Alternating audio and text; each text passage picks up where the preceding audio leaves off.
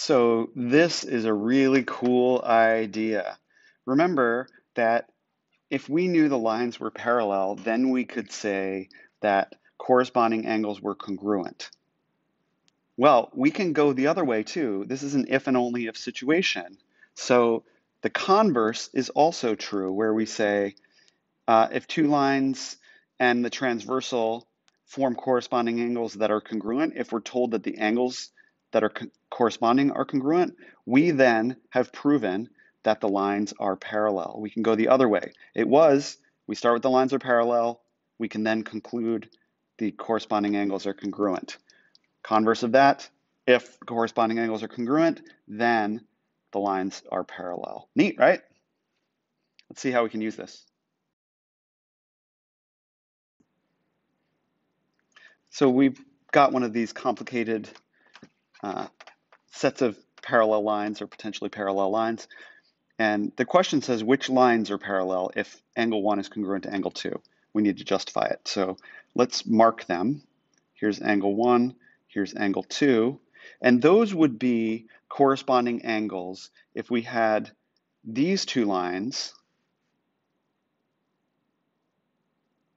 and this transversal cutting through them. That's what would make those two intersections here, um, here, and here, right? So if that's the case, and as you can see, um, this says, oops, where is it? This says which line is the transversal for angles one and two, um, and you can see that that's M, right? Because that essentially what we're talking about here is the transversal and the parallel lines each make up like one of the sides of the angle. So the transversal here, um, the transversal here makes this side of this angle and this side of this angle, and then the parallel lines make this side of that angle and this side of that angle. So that's really what you're looking for when we're talking about the, the lines and the transversal. They will be the sides of the angles, okay?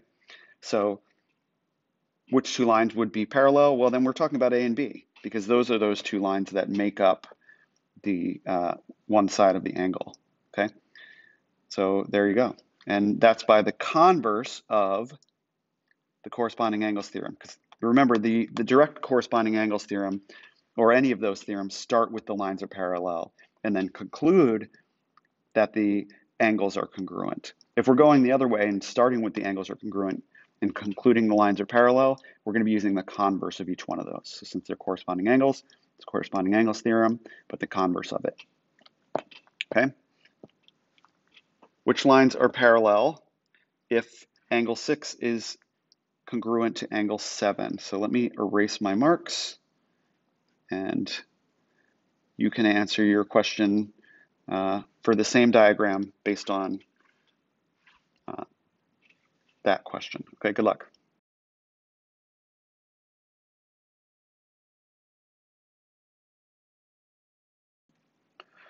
Okay, these are all really straightforward logical extensions of what we just talked about.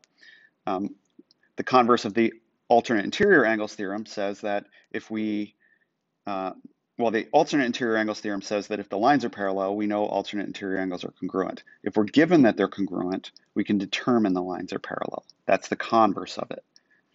Same side interior, remember they are supplementary.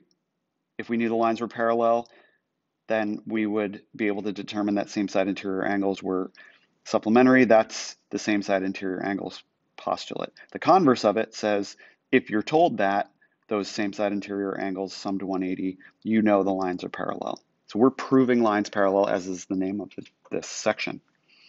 And of course, alternate interior angles, or sorry, alternate exterior angles, which we know would be congruent if the lines were parallel. We can then say, if you tell us that they're congruent, we can determine the lines are parallel, okay?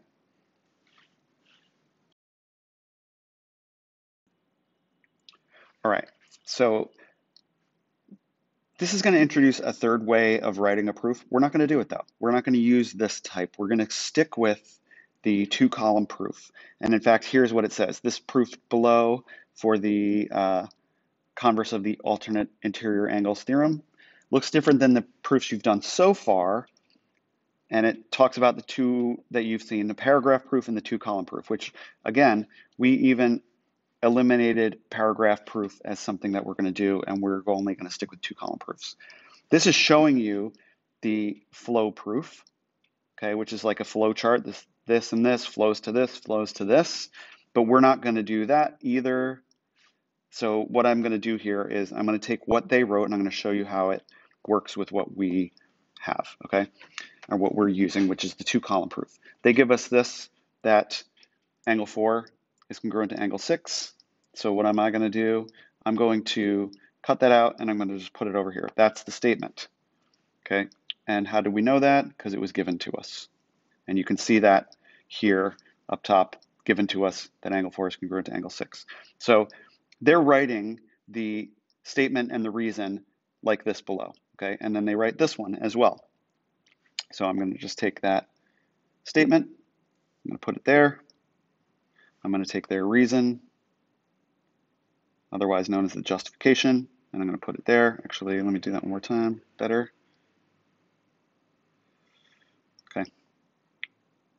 And that then flows to say, okay, well, then we can make this based on those two statements. That's why the two of them are listed and they flow together because you use those two statements together to then use the transitive property and make that statement that angle 2 is congruent to angle 6.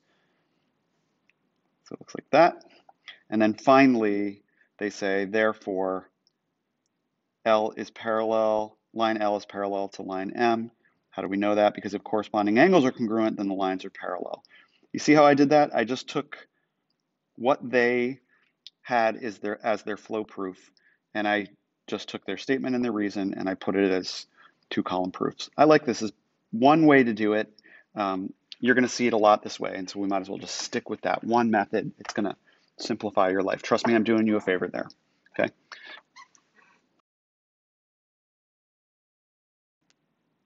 Yep.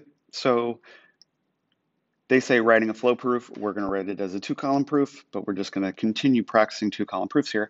Given that angle one is congruent to angle seven, then let's prove that L is parallel to M. Okay, these are alternate exterior angles, so that's pretty good. Uh, we can know that right away. But this is what they say. What do we know?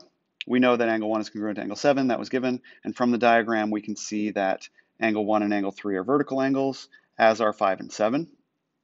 Um, we can see that 1 and 5 are corresponding, and then 3 and 7 are also corresponding. Because what we're doing is we're proving 3-7 that alternate exterior angles are congruent. So we can't use it.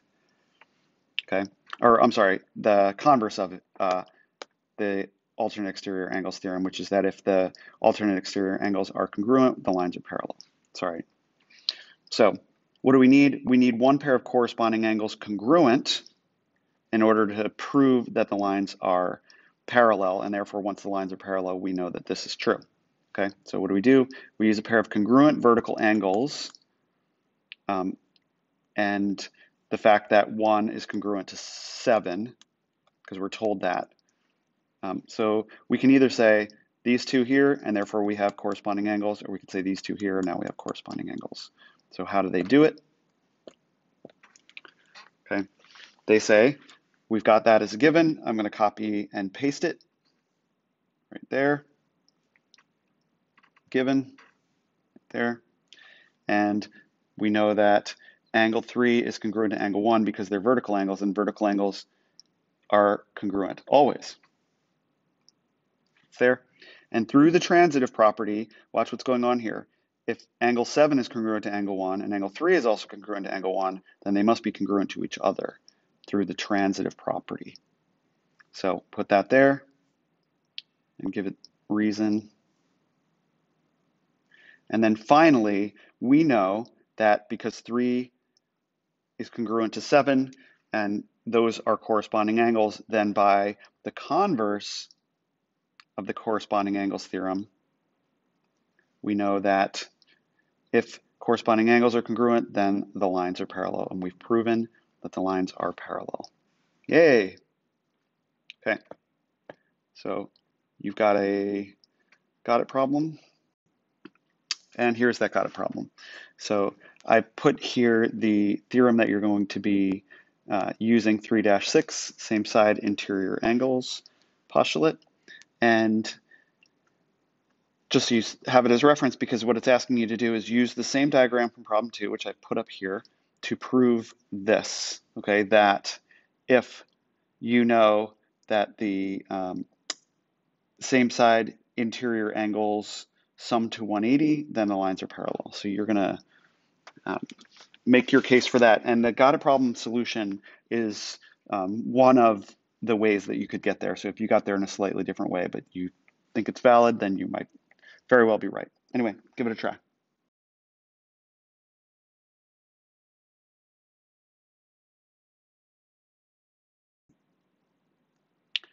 So here's a general word problem using these same concepts. The fence gate at the right is made up of pieces of wood arranged in various directions. And suppose that angle one is congruent to angle two here and here. Are lines R and S, these two posts, parallel? And you're gonna uh, you're asked to explain it. So here's the idea. Um, we need to know what the relationship between angle 1 and angle 2 is. And what we know is that they are exterior angles, exterior to the parallel lines, and on opposite sides of the transversal. So we're talking about um, alternate exterior angles, okay? And we're told that they're congruent. So yes, they are because they are alternate exterior angles, and so if two lines in a transversal form congruent alternate exterior angles, you know that the lines are parallel. Remember, when you've proven the lines are parallel from the uh, angles being congruent or supplementary, depending, you're talking about the converse of the particular theorem. Okay? So, um, how do you do on this one? Give it a shot.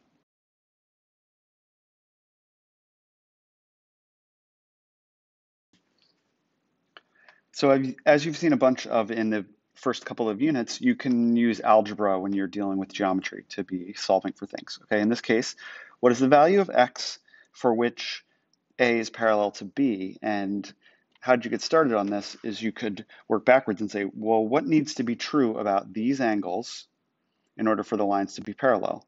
Well, these angles are same side interior angles, and so they need to be, do you remember? Supplementary. Okay?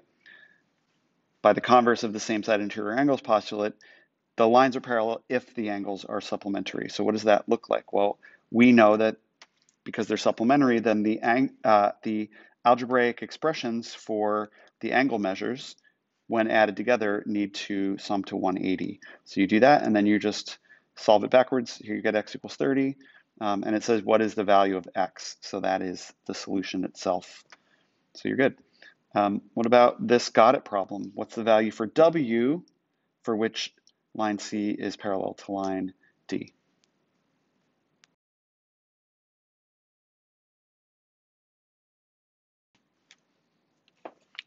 I hope that's all pretty straightforward to you. The lesson check problems are here. The big thing to keep in mind, especially if you're going to be using these ideas in proofs, is to remember that when you're given parallel lines, or given that the lines are parallel, that's given information, and you're trying to prove angles either congruent or supplementary, you're just using the theorems themselves. But when you're going in reverse and saying, we're given that the angles are congruent or the angles are supplementary, depending, and you're proving the lines are parallel, that's when you use the converse. So keep that in mind. Anyway, good luck with these lesson check problems.